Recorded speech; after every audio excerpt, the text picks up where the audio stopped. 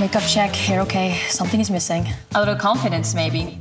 Who is that? Your new best friend. Here, try these on. These are adorable. Where did you get these? Hipoptical.com. You got these online? This must cost a fortune.